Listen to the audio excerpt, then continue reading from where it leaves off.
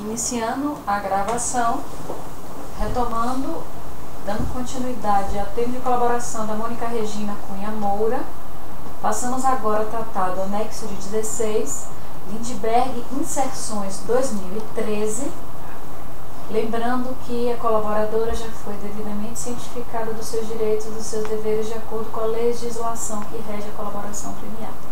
Pode iniciar, por favor. Tá bem, doutora. É, nesse ano de 2013, quer dizer, um ano antes da, da campanha é, de governador de 2014, na qual o Lindeberg concorreu ao Senado, ele, óbvio, estava muito interessado em colocar o nome dele na praça, né, fazer uma. Enfim, se, se, se candidatar, se, se cacifar para a campanha. Então ele convidou o João, pediu que o João fizesse as inserções publicitárias a que o PT do Rio tinha direito naquele semestre, para que seria ele, ele, ele iria usar, já tinha combinado com o PT do Rio que eles iriam, ele ia usar todas as inserções, ia ser todas para ele, justamente para vitaminar a candidatura dele para o ano seguinte. Candidatura para? Governador, que ele foi candidato em 2014 a governador do Rio. Na época ele era? Ele era senador. Então nós aceitamos fazer essas inserções, não lembro quantas, mas foram algumas inserções para. E aí o. O próprio Lindbergh procurou? Eu não me lembro agora, doutora, sinceramente, se foi o Lindbergh que procurou o João ou se alguém intermediou, alguém ligou e pediu. Eu não, eu não consigo me lembrar sei. quem foi que chamou o João. Eu sei que já, a gente já teve um, depois dessa, dessa, desse convite e do aceite, a gente teve um encontro com ele e um assessor dele chamado Fausto e falaram lá sobre os temas que ele achava que tinha que entrar nessas inserções, o que, que, que, que tinha que ser publicitado nessas inserções. E nessa mesma reunião ele falou: Fausto, resolve com a Mônica a questão financeira, a questão de, de, de pagamento, contrato, orçamento e tal. Eu já tinha feito um orçamentozinho, mais ou menos, né? Já tinha um, era uma coisa barata, nada, nada alto. Sentei com o Fausto em outra sala e conversamos sobre o, o valor o Fausto me disse, cobrei, eu não me lembro se eu cobrei 600 mil reais, algo mais ou menos por aí, acho que foi 600 mil reais. Para fazer, eram tipo oito ou nove inserções, não me lembro. E aí o Fausto me disse que teria, que ele não tinha, que o PT do Rio não tinha como pagar isso tudo por dentro, que eu, se eu aceitava receber uma parte por fora. Eu estava tão escolada com essa coisa que falei, ok.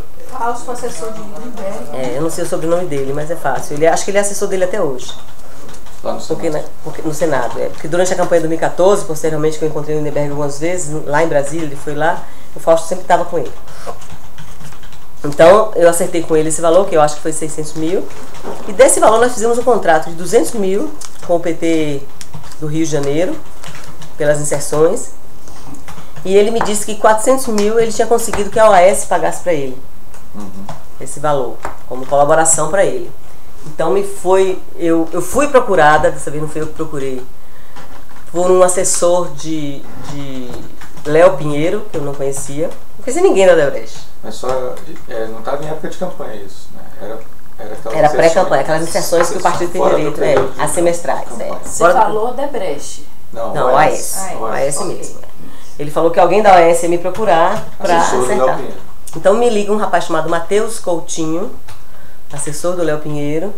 e combina comigo é, a entrega desse dinheiro.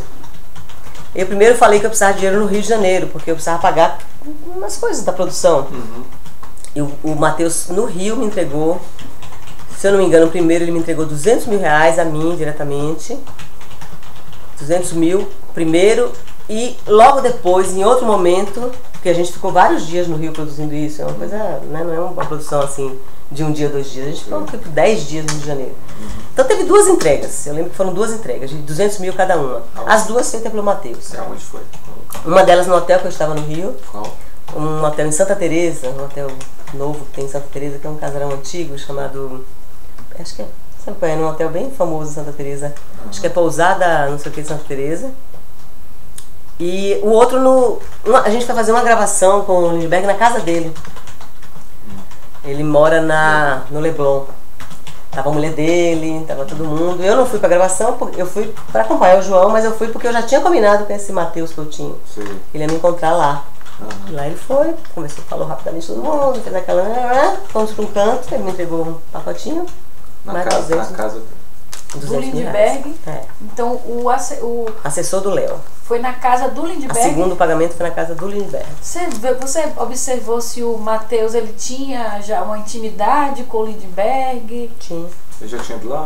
Não sei se ele já tinha ido lá, mas ele tinha intimidade com o Lindbergh. Eles se conheciam bastante com o Fausto. Eles tinham um tratamento bem, bem cordial, bem... Então foi dessa forma que eu, eu recebi esses 400 mil, fizemos, produzimos os comerciais, é, foram pro ar, foi um sucesso, tal, tal. No ano seguinte ele queria, porque queria que o João fizesse a campanha dele, mas a gente não aceitou. Foi no ano 2014, a gente tinha a campanha do, da Dilma, ainda tinha uma campanha do Panamá dificílima de presidente, o João falou para ele que infelizmente não podia fazer. Não Quanto que foi o pagamento por dentro? Teve 200, contrato? 200 mil tem, tem contrato, no Por fiscal. que que esse valor? Acho que 200 mil, 200 e pouco, Qual é o 220. motivo de ter que aceitar pagamento por fora nesse caso? Ele disse que não tinha dinheiro para pagar por dentro os 600 e poucos mil reais que eu cobrei. Que eles não tinham, o PT do Rio não tinha como pagar esse valor completo por dentro. E aí, mas essa história já era tão constante na minha vida, de todas as campanhas, que eu nossa, nem pestanejei. E você tem, o tele- você tem o telefone do Matheus Coutinho? Talvez eu tenha. Não lembro agora se eu tenho aqui na minha agenda. Acho que eu tenho. Eu vou dar uma olhada na minha agenda. Você A agenda que eu vou ele? deixar com você. Você falava com ele por telefone? Só falei uma vez, pra, as- essas duas vezes, pra combinar em um local de encontrar, só. Oi, tudo bem? Né? Quando é que eu te encontro? Primeira vez foi no meu hotel.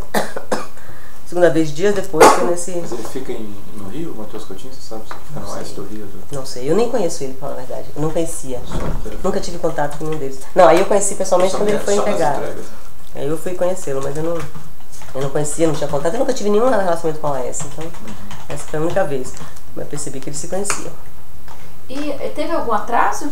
Não, não, foram duas entregas assim num período de 10 dias. Eu paguei toda a produção lá. A outra parte. Teve um atraso da parte oficial, da parte em nota, teve. O PT demorou para pagar, o PT Carioca demorou para pagar a nota. Mas a parte do AOS não. Entregaram direitinho. Mas teve atraso, sim. Mas atraso de, sei lá, alguns meses. Dois meses, lá, mais ou menos. Eu lembro disso porque eu liguei para Fausto algumas vezes cobrando essa nota, esse, esse pagamento que não faziam. Eu já tinha emitido nota, já tinha tudo lá e, eu- e eles não pagavam. Quais são as provas de corroboração nesse caso? Esse caso a gente não tem. Esse, essa- esse anexo foi incluído depois, nem me lembrava disso direito. Tem um contrato? Tem. Tem um contrato feito com o PT do Rio. O programa foi inserção Foi, foi. ar? Foram a- todas as inserções. As- eu tenho cópia das inserções, claro, no meu arquivo da minha empresa. Você tem telefone do Fausto? Eu tenho o telefone do Fausto, tenho. Tenho do Fausto, tenho do Lindbergh e prova- talvez eu tenha ainda do Matheus aqui, eu não sei. Eu tenho que olhar. Isso foi em 2013, 13. né? Segundo, acho que segundo semestre de 2000. E, essa sua ida ao hotel em Santa Teresa, onde você recebeu, foi somente para receber Não, eu estava hospedada lá. Eu e o João, fazendo os programas, produzindo os programas. Os programas, as, as inserções, os comerciais. Eram comerciais. Ele é que foi me encontrar. produtora local lá? Não, nesse têm ca- espaço lá? Não, nesse caso, como, era um, como a gente não. A gente alugou um estúdio para gravar o que era em estúdio. A maioria dos comerciais eram gravados na rua. E um só foi gravado na casa dele, que era meio com a família, aquela coisa meio, né? Foi gravado na casa dele. Então eu só fiz o quê? Tinha uma produtora local que trabalhava comigo, uma carioca, que já fez campanha em outros lugares comigo. E ela alugou câmera, alugou luz, alugou teleprompter, fez a produção. A gente alugou aquilo, usou naqueles dias de produção, depois devolveu tudo, tchau, foi embora. Alugamos um estúdio por diária, para gravar X diárias com ele em estúdio, não lembro O quantas. estúdio, qual foi esse estúdio? Um estúdio grande, eu não me lembro o nome, não, doutor, mas um estúdio grande que fica bem longe da. Fica perto da, dali das, da- da- das docas, da Porto. Eu não sei dizer, eu devo conheço o né? muito pouco, é. Perto ali, um galpão, um estúdio gigantesco. Isso tudo deve ter. Eu devo ter alguma anotação sobre isso, mas eu não Porque pagou esses estúdios diárias né, do estúdio. Seria bom também trazer isso É. pra gente. paguei. Aí eu paguei e Isso, então pega, fiscal, pega, né? Uhum. pega os dias e vê as, pra gente pegar o nome do estúdio. eu, posso, eu peço a essa menina que trabalhou comigo para ela levantar Mas o isso. que foi pago por fora? 400 mil reais. Os o mesmo estúdio que você pagou por Não, dentro? não, Não, não, não. não, é- ele pagou pra Não, mim. Eu é que paguei o estúdio oficialmente. Eu paguei com Sim, mas e fiscal. o- esse dinheiro que você ganhou por fora, você pagou o quê? Carro, Fornecedor. Câmera, luz, uma parte da luz. É porque eu tô perguntando porque teve outros casos Uhum. que você disse que fazia um contrato, mas a, a- a- por exemplo, a, Pagava uma parte por dentro, a parte por fora. isso, é. nesse caso teve. Nesse caso teve também. Teve gente por. Teve até pessoas que a gente pagou. Mas não- quem levantou essa produção toda pra mim foi essa produtora carioca que trabalha comigo.